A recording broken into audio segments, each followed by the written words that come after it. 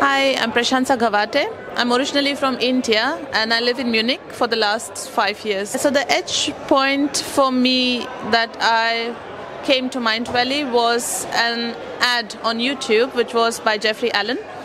And uh, it resonated with me very well uh, when he spoke about energies. And for me, at that point, my career felt it was, I was or I am, I consider to be very, very successful, but something fell off energetically and I couldn't really put it in words and I didn't understand. Uh, but Jeffrey Allen's ad, let's say, helped me or brought me to Mindvalley and magic has never stopped. So, what changed for me after the quest was um, I started understanding a bit more about energy. I started using it in a fun way, talking to the spirit guides, trying to ground myself, trying to set energetic boundaries, and so on, which was super important for me at that point in a career, in a relationship. Um, and just to understand a bit more about myself.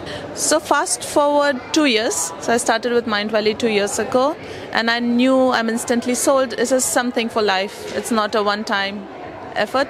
So, in two years from when I started, I'm clearer about what I want to do, and I have a clearer vision for my life. And let's say it's bigger than a career.